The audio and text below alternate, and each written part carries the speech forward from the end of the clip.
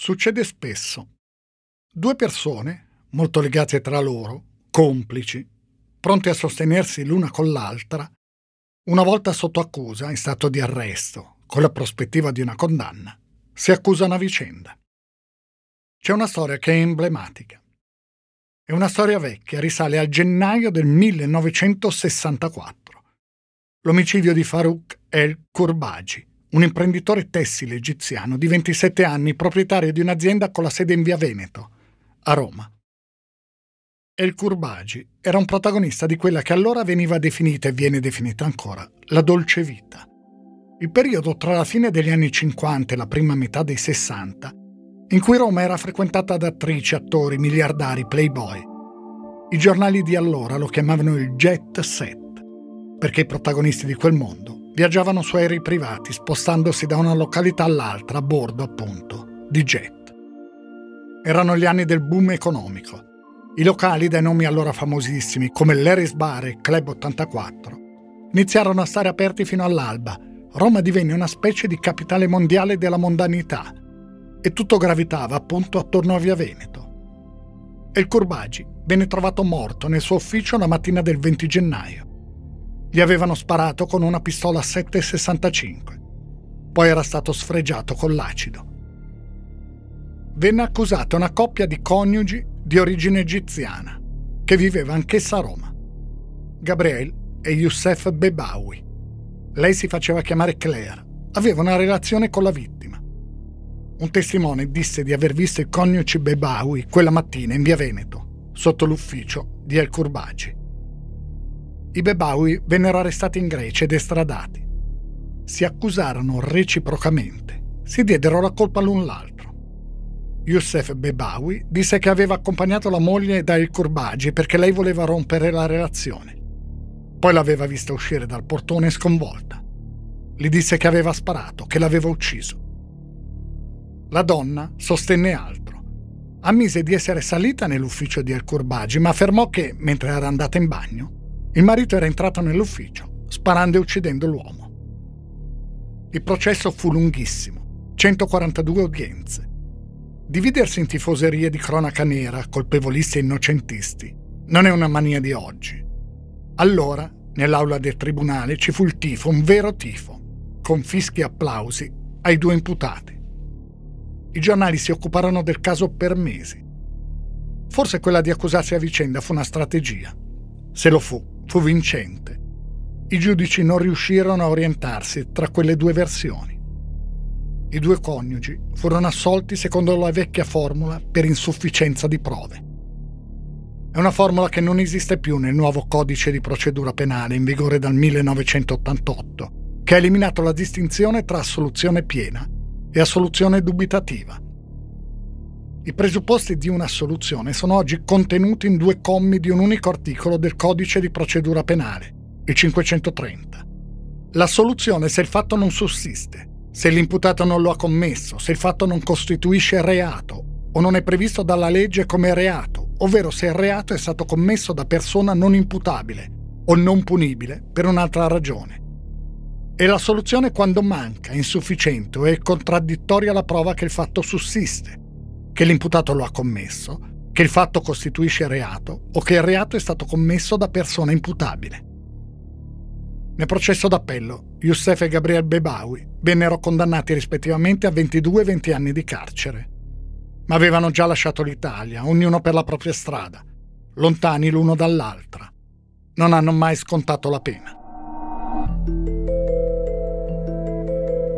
25 anni dopo quel delitto, lo schema difensivo adottato da Diana Bayer e Filippo De Cristoforo è completamente diverso. Lei si assume tutte le colpe. Lui dice di essere rimasto sconvolto da ciò che era accaduto a bordo, ma di essere scappato per proteggere la ragazza di cui giura è innamoratissimo. Sarebbe stato quindi, secondo la loro versione, un delitto passionale. Diana Bayer sarebbe stata gelosissima di Annarita Curina Approfittando del fatto che De Cristoforo fosse al timone, Diana Bayer aveva colpito con un coltello la donna che stava riposando. L'autopsia ha però confermato che Annarita Curina è morta lo stesso giorno della partenza da Pesaro. Quindi quello che viene definito da De Cristoforo uno scoppio di gelosia sarebbe avvenuto subito. poche ore dopo che la barca era salpata dal porto. È verosimile? Come sarebbe nata questa gelosia in così poche ore? E poi c'è il particolare della boccetta di Valium. Chi l'ha portata a bordo e a che cosa è servita? Anche la coperta usata per avvolgere il corpo di Annarita Curina, secondo i testimoni, è stata portata in barca da De Cristoforo. Ma soprattutto c'è la profonda ferita al viso della vittima. Chi ha dato quel colpo, o meglio quei colpi, visto che l'autopsia ha stabilito che i colpi sono stati due, dati nello stesso punto? I magistrati inquirenti hanno parecchi dubbi. Anzi, a quella versione non credono proprio. Però fino a quel momento le storie dei due imputati coincidono. Quanto a Peter Grönindek, gli inquirenti sembrano crederli. Non sapeva nulla dell'omicidio. È fuggito con i due amici, racconta, perché si è fatto prendere dal panico. Però questo è solo l'inizio di una storia molto lunga, che continuerà per molto tempo anche dopo la conclusione dei processi.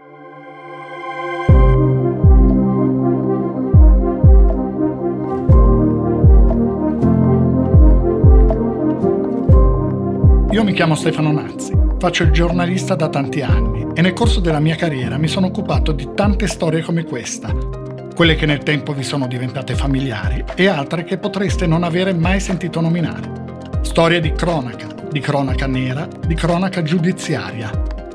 Il podcast che state ascoltando si intitola Indagini ed è prodotto dal Post. Vi racconterò ogni mese, una volta al mese, una di queste storie, tentando di mostrare non tanto il fatto di cronaca in sé, il delitto in sé, bensì tutto quello che è successo dopo, il modo in cui si è cercato di ricostruire la verità, le indagini giudiziarie e i processi con le loro iniziative, le loro intuizioni e i loro errori il modo in cui le indagini hanno influenzato la reazione dei media e della società e il modo in cui i media e la società hanno influenzato le indagini.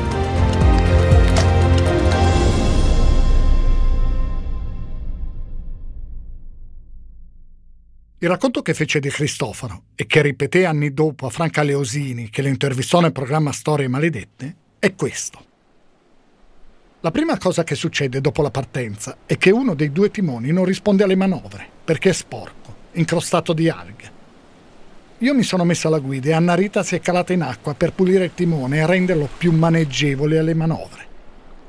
Ciò che accadde dopo ha influito sul comportamento di Diana in seguito. Anna Rita si è immersa, continua De Cristoforo, e una volta venuta fuori era ovviamente bagnata. Questo è un argomento che può creare molto imbarazzo anche verso la famiglia di Anna Rita, perché è molto delicato e ha creato notevoli dissapori in passato con la famiglia della Corina. Non so nemmeno io come poter attenuare l'accaduto. È però innegabile, continua a dire De Cristofano, che la Curina si tolse la maglietta perché era fradicia. Ecco come continua il suo racconto, in questo audio tratto dalla trasmissione. La Curina aveva impartito un paio di disposizioni a Diana eh, dal punto di vista lavorativo, di eh, racimolare alcune, alcune, lenze, di racimolare le cime perché erano disordinate a poppa e quindi gli dava del lavoro.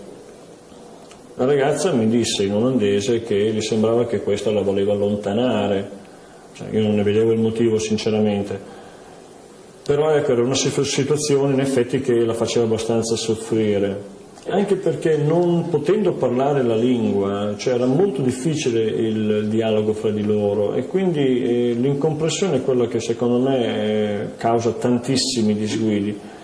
Eh, Liana si era fatta chissà quale, diciamo così, quale idea su questa situazione, mentre io le dicevo sì, ma aspetta un attimo, cioè, eh, chiaro che bisogna lavorare per questo passaggio, cioè eh, fai quello che ti dice, io sono qui alla guida, infatti lei poi si rimise anche la maglietta, cioè la narrazione che rimase così in eterno. Però fu una situazione che Diana insomma non è che andò giù molto. Secondo De Cristofaro, Diana Beyer era estremamente gelosa, lo era sempre stata. Disse che c'erano testimonianze di ragazze che erano state minacciate era, secondo lui, una gelosia morbosa. Vedere Annarita Curina, senza la maglietta, le aveva provocato, insomma, una crisi di rabbia. Così continuò il racconto di De Cristoforo. Ho cercato di far capire a Diana che quando io e Annarita ci parlavamo non c'era nulla di strano. Però il fatto di non capire la lingua per lei era estremamente doloroso. Dopo pranzo, continuò De Cristofano, decidemmo i turni tra me e la Curina per chi dovesse stare al timone. Si stabilì che lei avrebbe preso la guida nel pomeriggio tardi e che nel frattempo sarebbe andata a riposare. Aveva messo la sveglia per le 3 o le 4, perché a quell'ora c'era il bollettino meteorologico. Che cosa accadde? Diana Beyer e Filippo De Cristofaro lo raccontarono allo stesso modo. Diana offrì un caffè ai due compagni di viaggio. In quello di Curina aveva messo una consistente dose di Valium, una benzodiazepina usata contro l'ansia e l'insonnia. Io questo non lo sapevo, disse De Cristofano. Sempre secondo il suo racconto, lui vide Anna Rita bere un sorso di caffè e poi gettarlo in mare. Quindi lei li salutò e andò a sdraiarsi. Ecco le parole pronunciate da De Cristofano. Praticamente mm, Diana era indaffarata con ancora un paio di, eh, di cose, diciamo da, una, da, un'estremità all'altra, perché eh, nel catamarano, essendoci due scafi, c'erano diciamo, determinate suppellettili e cose necessarie stivate in uno scafo e altre in un altro scafo, quindi non è che prestavo molta attenzione eh, su via vai. E io ero abbastanza concentrato sulla navigazione perché eravamo in un, in un tratto che diciamo, non, era, non c'erano dei venti costanti, quindi bisognava sempre un po' stare attenti. So solo che dopo un po' di tempo eh, dallo scafo di destra, dove dormiva la colina, è risalita è uscita fuori Diana con questo coltello insanguinato. Lei dove era? Al timone? Io ero al timone. Eh. Non ho aperto neanche, la, non ho detto proprio niente. Mi guardava con questi occhi un po' vitri così, no? Io non è che ho focalizzato subito la situazione perché mi sembrava un pochettino anche surreale, cioè non, non riuscivo a inquadrare bene la situazione. Proprio perché, ripeto, non essendo nella mente di Diana non avevo visto nessun precedente che avrebbe potuto scaturire tutto questo fatto. Visto che la ragazza proprio non reagiva, era tutta impietrita, no? allora ho lasciato il timone, l'ho lasciato andare, infatti la barca poi ha sbandato e sono andato giù, sono sceso giù nello scafo. E sono andato dalla parte, eh, diciamo, mi sono guardato intorno, poi, perché ero solamente due volte, lì sono andato poi dalla parte della curina dove dormiva e infatti ho visto Supina che era distesa su questo letto. De Cristoforo scuote la ragazza, vede il sangue la trascina fino alla scaletta e la porta in coperta. In quel momento, dice, Diana era lì, pietrificata, immobile. Poi, dice sempre De Cristofano, ho steso Anna Rita Curina vicino a me e ho ripreso il timone perché la barca sbandava. Ecco come continua a raccontare. Io cosa ho fatto? Ho preso, ho preso questo coltello e l'ho buttato fuori, cioè proprio preda più alla disperazione che al panico. Sono rimasto, penso, qualche minuto così, senza pensare perché non riuscivo quasi a connettere, cioè non sapevo cosa stava succedendo. Era una situazione del tutto impensabile ma anche catastrofica, cioè mi, mi si riproponeva una, una, realtà che non si, era non si era mai prevista. E anch'io sono rimasto un attimino lì eh, perplesso, non sapendo più che cosa fare. Alla fine, diciamo così, eh, riprendendomi seppur in minima parte, perché mm, posso assicurare che ancora oggi ho dei ricordi molto confusi di, quel, di quegli avvenimenti, perché non riesco a ricordarmi esattamente tutto quello che è successo, in quale eh, ordine, perché mm, sono attimi che veramente sconvolgono, sconvolgono sia diciamo, la situazione razionale di una persona ma anche la vita, perché non essendo degli avvenimenti che eh, ci si propone di fare o di vedere, insomma, sono, sono veramente indescrivibili. Quindi, niente, mh, in quel momento guardai Diana, guardai la collina, cioè lì a un certo punto si trattava anche di una scelta, perché chiaramente io in quel momento avrei dovuto far rotta verso il primo porto, verso la spiaggia, avrei dovuto, insomma, diciamo così, eh, fare intervenire le autorità, De Cristoforo prese la decisione. Avevo questa ragazza a cui volevo bene. Si trattava o di consegnarlo o di continuare il viaggio. Il sentimento ha avuto il sopravvento. Io non so se in quel momento fossi conscio di quello che stavo facendo. Decisi di proteggere Diana. Ma chi diede i colpi di macete ad Anna Maria Curina? Ebbe questa reazione, diciamo così, penso più che altro per rabbia verso di lei per quello che era successo, non so esattamente. Però fatto sta che eh, cioè, lì vicino al posto di guida eh, c'era un coltello da pesca che era per le lenze, c'era questo macete che si usano per le cime che una volta aggrovigliate o nel timone o nell'elica eh, occorre recidere immediatamente prima che si spacchi qualche cosa. In quel momento la ragazza prese questo e incominciò l'idea, non so se due colpi o uno, non mi ricordo ancora adesso. Infatti l'avvocato mi disse dall'autopsia che erano due colpi, io me ne ricordo uno solo. Cioè questa è una cosa ancora che non, non riesco io stesso a chiarirmi. Secondo De Cristoforo, quando Anna Rita Curina venne colpita da Diana Bayer con il macete, era già morta. Poi il corpo della donna venne avvolto in una coperta e gettato in mare, con l'ancora legata alla caviglia.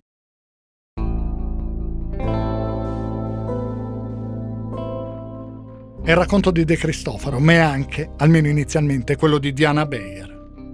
Solo che la ragazza dice anche cose che fanno pensare a tutt'altro. Parla del progetto di andare in Polinesia a ogni costo, anche sottraendo la barca a qualcuno. Dice che il Valium era stato travasato da lei e De Cristoforo in una boccetta senza contagocce, per poterlo versare meglio. E perché lo avrebbero fatto? Gli inquirenti ipotizzano che quel delitto sia stato premeditato quanto a chi sia stato l'esecutore materiale, ci sono forti dubbi che quei colpi potenti col macete siano stati dati dalla ragazza. Diana Bayer ripete la sua versione anche davanti al tribunale di Ancona, dove compare come accusata di omicidio premeditato, occultamento di cadavere e furto dell'imbarcazione. I difensori puntano sulla non maturità della ragazza L'imputabilità di un minore di 18 anni è giuridicamente diversa da quella di un adulto. Dopo i 18 anni, infatti, si parte dalla presunzione che l'individuo sia sufficientemente maturo e responsabile per autodeterminarsi e vivere senza commettere reati. Al contrario, nel processo minorile, l'imputabilità non è presunta. Si può dire che si basa sul presupposto opposto. Va dimostrato che il minore purché abbia compiuto 14 anni, sia imputabile. La perizia a cui viene sottoposto il minore è psicologica e psicosociale.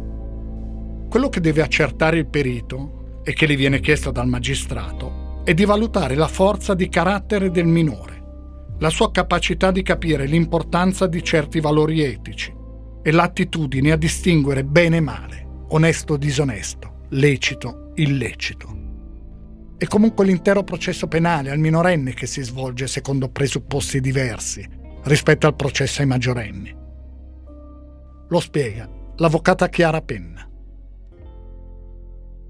Dunque, nel processo al maggiorenne sappiamo che eh, la pena ha una funzione rieducativa, nel processo penale al minorenne è lo stesso processo ad avere una funzione educativa e in particolar modo è finalizzato anche ad una eh, struttura eh, della eh, personalità del soggetto, a comprendere qual è la personalità del soggetto che compie un atto di rilevanza penale e soprattutto capire in che contesto il minore operi.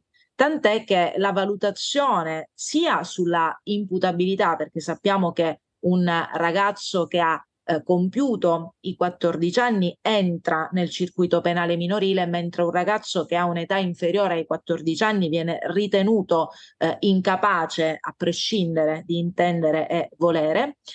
Chi ha compiuto invece 14 anni viene valutato non solo in termini di imputabilità, ma anche eh, da un punto di vista eh, di responsabilizzazione, cioè bisogna capire il grado di responsabilizzazione del soggetto stesso e l'indagine viene fatta sul soggetto e anche eh, nel contesto socioambientale, nella famiglia.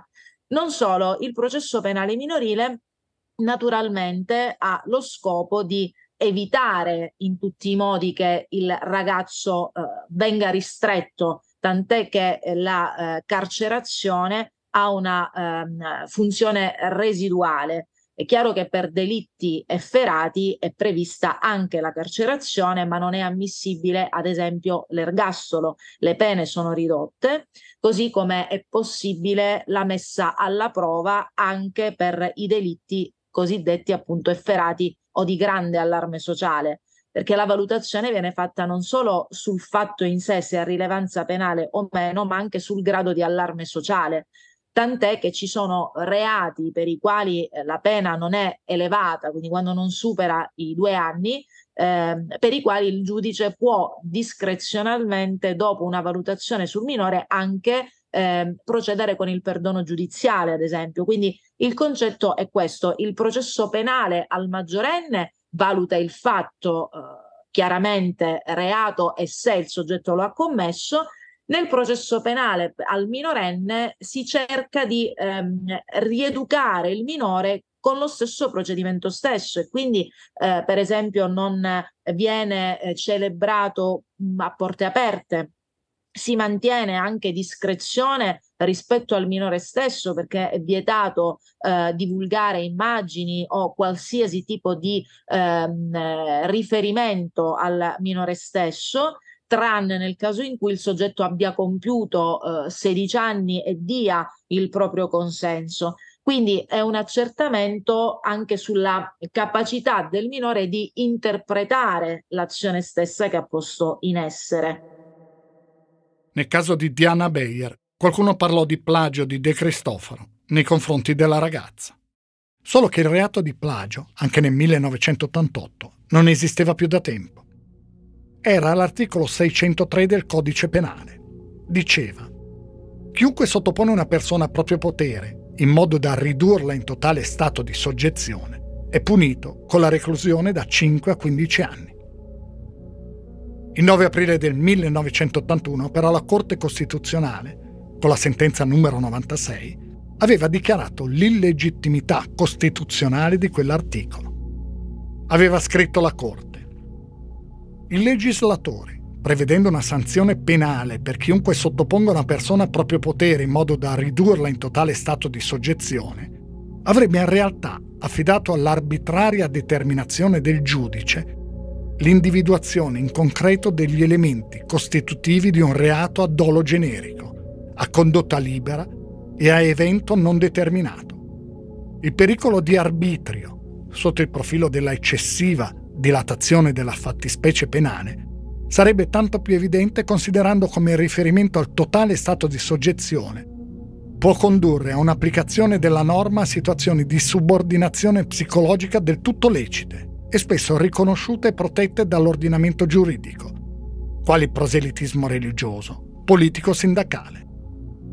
D'altra parte non conferirebbe maggior chiarezza alla determinazione concreta della fattispecie l'osservazione che la soggezione psichica deve essere totale. Un caso del genere potrebbe infatti ricorrere nel campo della patologia mentale, ove peraltro l'articolo 603 del codice penale non opera in quanto suppone come soggetto passivo non un incapace, ma una persona normale. Il reato di plagio quindi non esiste più. Gli inquirenti però che stanno esaminando la situazione di De Cristoforo, mentre Diana Bayer è affidata alla giustizia minorile, sono certi che l'uomo abbia convinto la ragazza ad addossarsi la colpa proprio perché minorenne.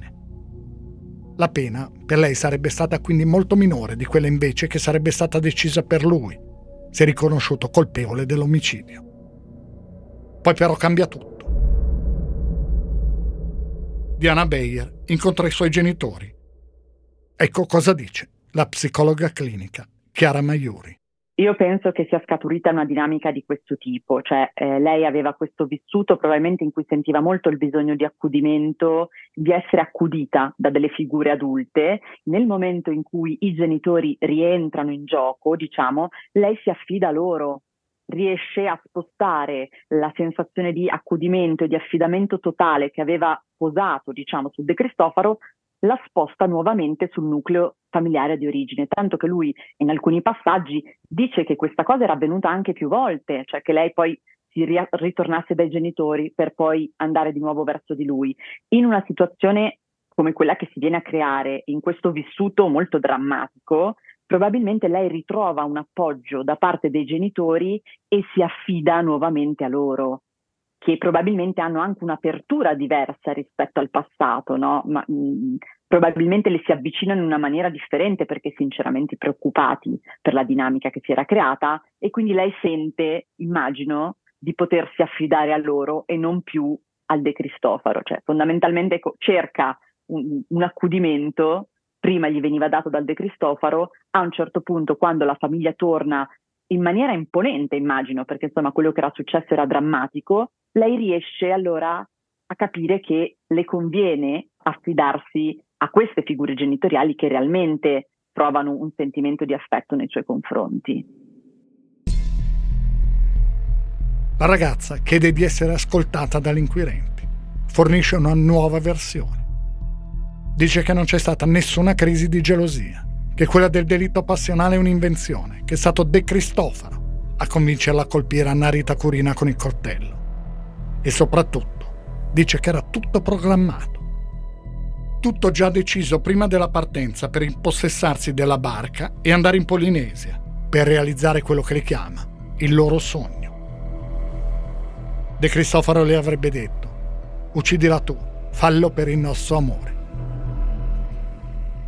Dopo aver tirato la coltellata, Diana dice però di essersi paralizzata, di essere stata incapace di pensare e di agire.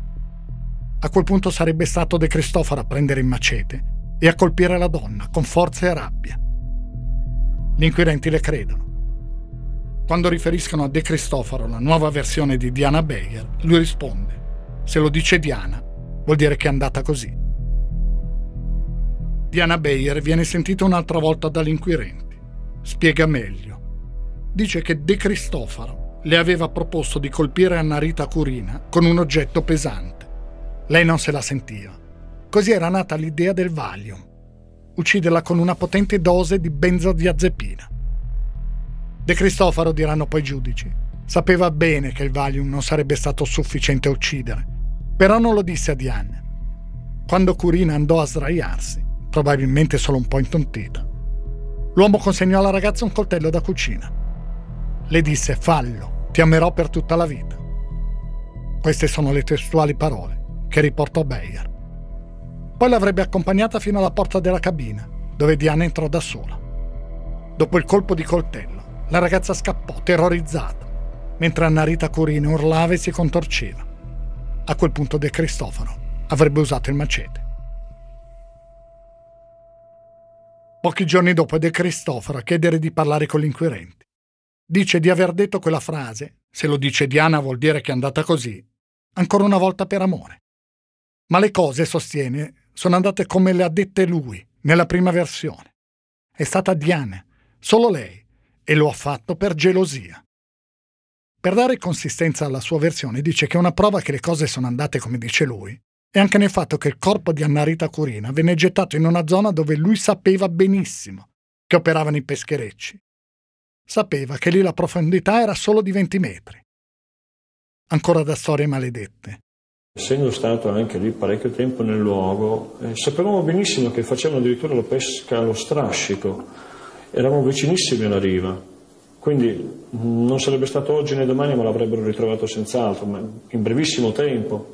Eppure in quel momento, non essendo, diciamo così, eh, consci di quello che si faceva, eh, abbiamo pensato che prima lo si occultava e meglio era, cioè volevamo solamente eh, togliere eh, probabilmente anche questo segno di quanto era accaduto dalla barca. Inoltre, aggiunge De Cristofano, mi sono ritrovato praticamente da solo a governare la barca. È evidente che non avevo programmato nulla.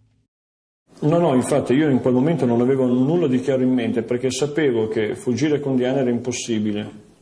Lei ha un problema ottico, eh, cioè la notte non distingue bene le distanze e già mi era costata tempo addietro la chiglia della mia prima barca.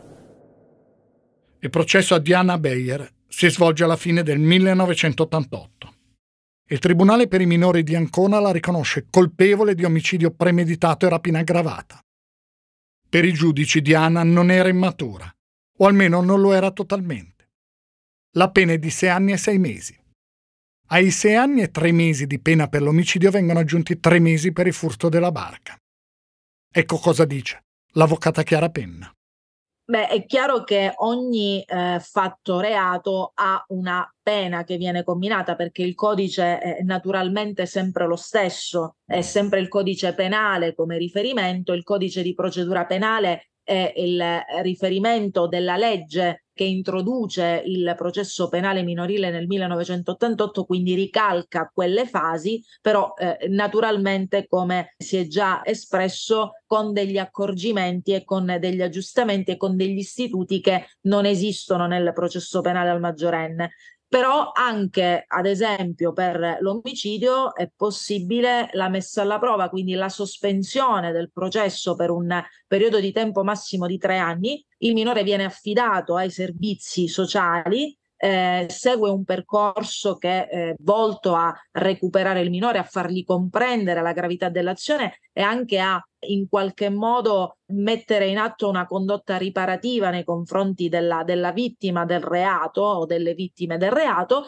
e all'esito della messa alla prova il soggetto viene completamente riabilitato e questo è possibile anche con eh, reati molto gravi, quindi anche con eh, l'omicidio. E nel caso in questione, ad esempio, viene valutata la eh, capacità della ragazza che aveva compiuto 17 anni, quindi quando si tratta anche di soggetti prossimi al raggiungimento della eh, maggiore età, si valuta anche in che modo eh, alcuni elementi sono stati in grado di influire nei processi volitivi e decisionali del soggetto e nel caso in questione si mise in evidenza che la ragazza era certamente in una relazione amorosa totalizzante e, e mm, condizionante, però eh, non mh, mm, di un grado tale da incidere sulla sua capacità di rappresentazione e volizione dell'evento, tant'è che la, il suo apporto causale all'evento stesso fu determinante. Diciamo che il grado di maturità della ragazza era un grado di immaturità normale naturale rispetto all'età che aveva, quindi era pur in presenza di un eh, rapporto di questo genere sicuramente condizionante da parte di un adulto che aveva ideato sostanzialmente l'omicidio, eh, però il suo eh, apporto è stato determinante e comunque non eh, ha influito sulla sua capacità di comprendere quello che stava facendo, ad esempio.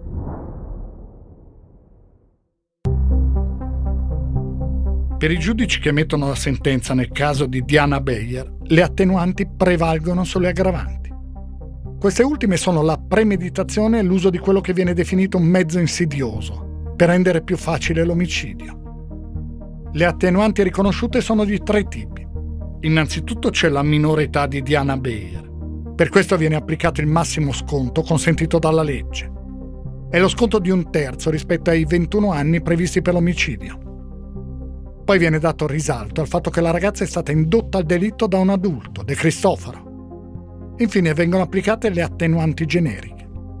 Queste ultime sono quelle previste dall'articolo 62 del Codice Penale e sono l'espressione del potere discrezionale del giudice. Le attenuanti generiche possono essere il fatto che l'imputato sia incensurato, che abbia confessato e si sia dimostrato pentito, che l'imputato dimostri scarsa pericolosità sociale o abbia tenuto comportamenti considerati positivi durante il processo. Si tratta di circostanze appunto tecnicamente definite comuni, ma che hanno un contenuto indefinito. Spiega il sito di consulenze legali Brocardi. Non è però da considerarsi quali benevola concessione, piuttosto come il riconoscimento di elementi e dati inerenti al reato e al suo autore, meritevoli di considerazione positiva, nel rispetto dei criteri desumibili dall'ordinamento. Le attenuanti possono essere ritenute dal giudice prevalenti sulle aggravanti così come può avvenire il contrario. Se attenuanti e aggravanti vengono considerati equivalenti, si applica la pena come sarebbe stata inflitta se non fossero considerate appunto le aggravanti e le attenuanti.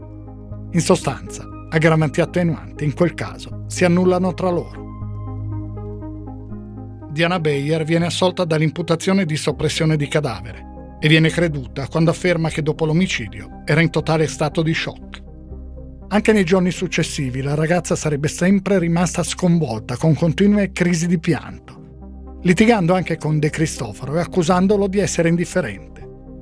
Lui avrebbe risposto, secondo il racconto della ragazza, è il passato, dobbiamo andare avanti.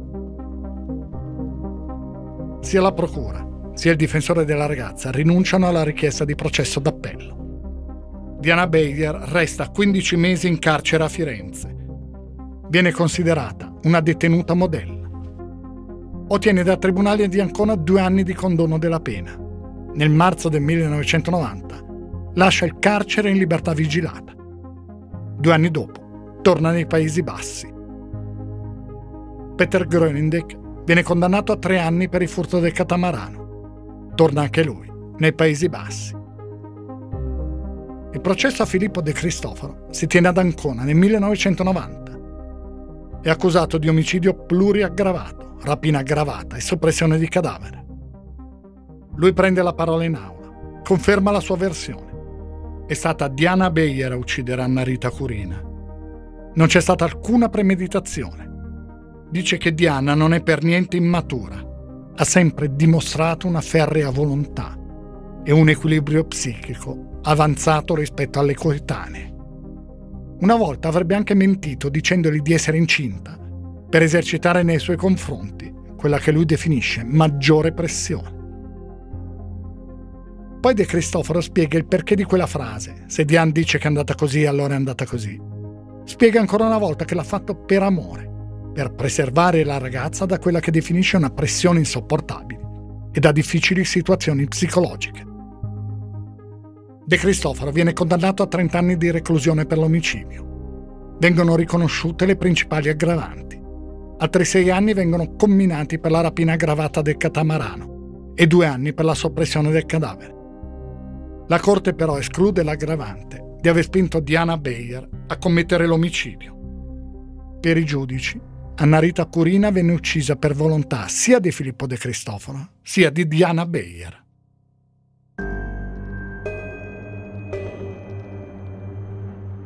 Alcuni elementi farebbero propendere per la premeditazione del delitto, aggravante che però non viene applicata. La coperta portata a bordo dai due ospiti della barca. Il macete, anch'esso portato a bordo dai due perché, disse De Cristoforo, Avremmo potuto averne bisogno per liberare l'imbarcazione e tagliare le scotte qualora si fossero incagliate. Nel sangue di Anarita Corina poi è stata rilevata la presenza di benzodiazepine ad azione ansiolitica. C'è poi un'altra circostanza. Il 9 giugno, quindi prima di partire, De Cristoforo avrebbe già telefonato a Grönindek dicendo di aver rubato una barca. Questo sarebbe avvenuto il giorno prima di salpare. È un racconto che l'amico olandese fece alla polizia tunisina. E poi c'è la testimonianza di un uomo, Ennio Melani, titolare di un negozio di Pesaro di articoli per la nautica. Disse di essere stato lui a vendere a De Cristoforo le lettere adesive con cui fu cambiato il nome della barca da Arx a Fly 2. De Cristoforo comprò anche una bussola, un contanodi elettronico, c'è un dispositivo che indica la velocità della barca e un pilota automatico. Questo avvenne a Pesaro, quindi prima della partenza del 10 giugno. Perché comprare quelle lettere adesive se non ci fosse già stato il progetto di cambiare il nome all'ARCS? Nel 1991, processo d'appello, il procuratore generale chiede la condanna all'ergastolo. Secondo lui deve essere riconosciuta la premeditazione. La giuria, dopo essersi riunita, si pronuncia per l'ergastolo disse il procuratore generale Giovanni Angelo Cuccaro. Di fronte alla sproporzione tra il movente e il delitto, bisogna valutare l'elemento psicologico. O si tratta di pazzia o della presunzione di essere al di sopra delle persone medie. Dietro l'imputato c'è l'idea del delitto perfetto, che può essere compiuto solo da una persona intelligente. Il 5 giugno del 1991 la Corte di Cassazione confermò definitivamente la condanna all'ergastolo. Nel 1994, durante la trasmissione Storie maledette, Franca Leosini chiese a De Cristoforo quanto vale una vita umana? Lui rispose molto più di un ergastolo. Ma questa storia non finisce con la condanna, non finisce con quell'intervista. Nel 2007, in carcere da 19 anni, a Filippo De Cristoforo viene concesso un permesso premio. Esce dal carcere di Opera e non fa rientro nel giorno e all'ora stabilita. I permessi premio possono essere concessi ai detenuti che hanno tenuto in carcere una condotta regolare e non sono considerati socialmente pericolosi.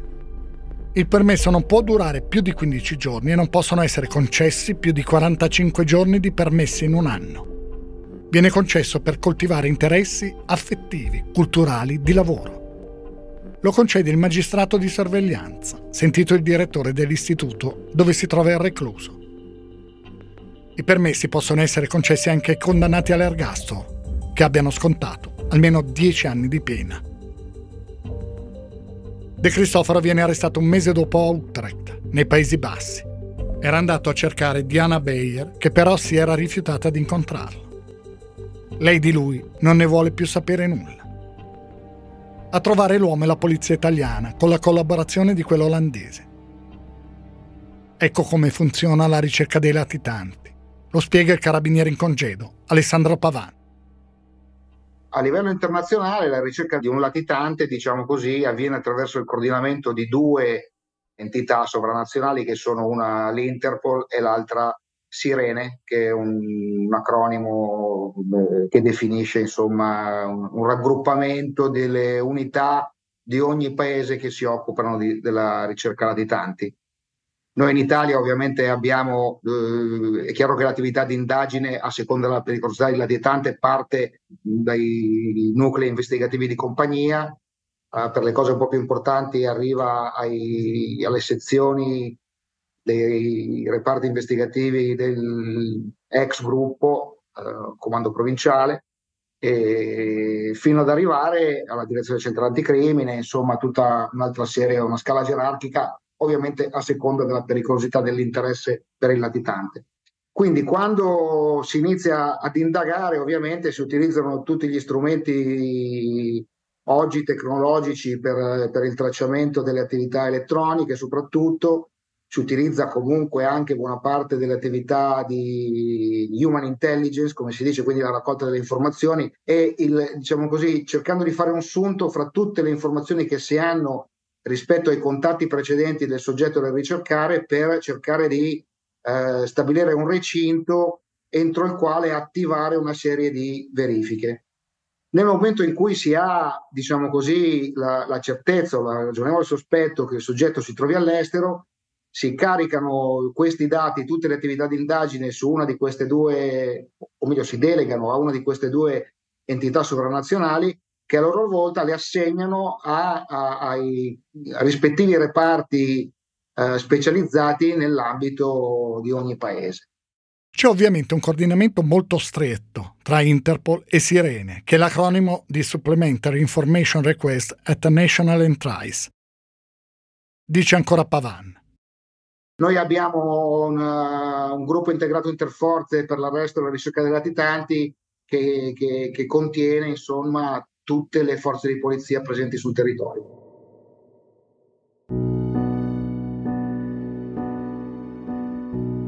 Per dare alcuni dati, nel 2022 sono stati arrestati circa 700 latitanti italiani. Questo è avvenuto in 40 paesi, con la collaborazione di forze di polizia di tutto il mondo. Dopo essere stato arrestato, Filippo De Cristoforo viene trasferito nella casa di reclusione di Porto Azzurro, sull'isola d'Elba. Nel 2014, a Pasqua, gli viene concesso un nuovo permesso premio di tre giorni. E ancora una volta non rientra quando dovrebbe farlo.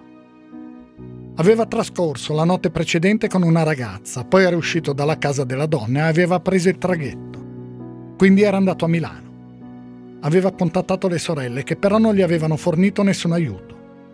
Alcune telecamere lo ripresero mentre camminava in piazza Duomo. Lo cercano nei Paesi Bassi, a Utrecht. Si sa che ha provato a contattare la figlia che però non ha voluto vederlo. Viene inquadrato poi da una telecamera a Marsiglia, quindi più niente. Le polemiche in Italia sono molte.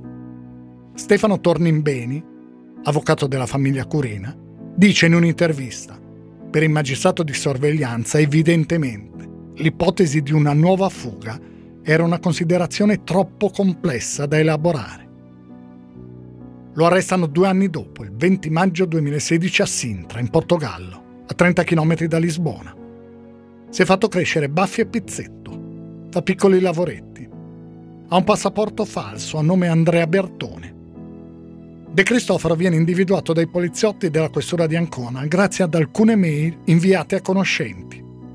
L'account è costituito dalle lettere AN seguite dai numeri 07, poi le lettere BE e altri due numeri 04. 07 04 è la data di nascita di De Cristoforo.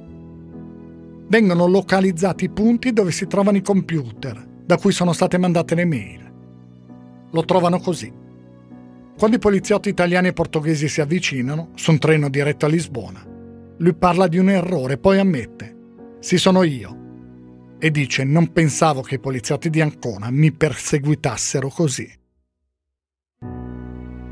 Arrestato in Portogallo il latitante Filippo Antonio De Cristofaro, autore dell'assassinio di Annarita Curina, 34enne skipper pesarese, avvenuto il 10 giugno del 1988 per appropriarsi del suo catamarano. La vittima fu stordita col Valium, accoltellata e finita con tre colpi di macete, per poi essere buttata in acqua al largo della costa di Senigallia dall'uomo e dalla sua giovane amante, la cittadina olandese Diana Beyer, all'epoca diciassettenne.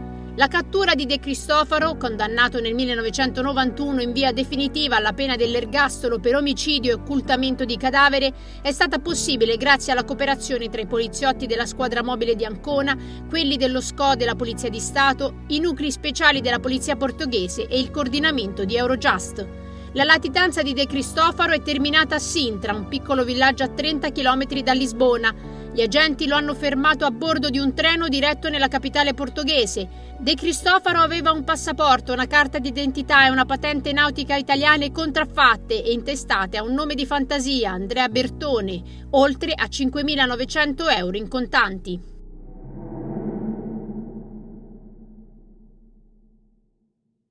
Il questore di Ancona, Oreste Capocasa, dice durante la conferenza stampa Oggi è un giorno importante perché è stato catturato il più pericoloso latitante italiano non di mafia, il più pericoloso latitante comune. Il ministro Angelino Alfano dice un altro latitante in meno. Questa operazione conferma ancora una volta che non si sfugge alla giustizia e chi ha sbagliato deve pagare. Lui, dopo essere stato arrestato, chiede di poter parlare con la figlia nei Paesi Bassi. Lei si rifiuta di ascoltarlo lui allora telefona al compagno della figlia. Dice diglielo tu, io stavolta torno in galera per sempre. Quando le danno la notizia dell'arresto, Diana Beyer scrive un sms al suo avvocato. No, davvero, sono così felice. Poi succede qualcosa. Un casino, non c'è altro modo per definirlo, un clamoroso errore. In Portogallo De Cristoforo è stato arrestato per possesso di documenti falsi. Nel frattempo dall'Italia arriva la richiesta di estradizione. Ci vorranno alcuni mesi. Non è così semplice però. In Portogallo non è prevista la pena dell'ergastolo, quindi il Ministero della Giustizia portoghese invia una lettera in cui chiede chiarimenti e rassicurazioni. La Procura di Milano risponde immediatamente rassicurando i magistrati di Lisbona. Si ricorda che l'ergastolo in Italia è previsto solo per reati particolarmente gravi e che spesso, tra permessi e sconti per buona condotta, il carcere a vite è attenuato. Poi più nessuna comunicazione. Nel febbraio del 2017 si scopre che Filippo De Cristoforo è stato scarcerato già da alcuni mesi, precisamente a ottobre 2016, per decorrenza dei termini di custodia cautelare. In Italia nessuno ne sapeva nulla. Parlando con la stampa, l'ex pubblico ministero Ferdinando Pomarici che è stato anche capo dell'ufficio di esecuzione penale esterna in ambito di giustizia minorile, dice la responsabilità è delle autorità portoghesi. Si parla tanto della giustizia italiana, ma se l'avessimo fatta noi una cosa del genere, ci avrebbero massacrato, con tutta la fatica che abbiamo fatto per prenderlo. Ora chi lo dice ai familiari della vittima? Da allora, dall'ottobre 2016, di Filippo De Cristofaro non si sa più nulla. Oggi ha 69 anni. È da qualche parte. Lo stanno cercando.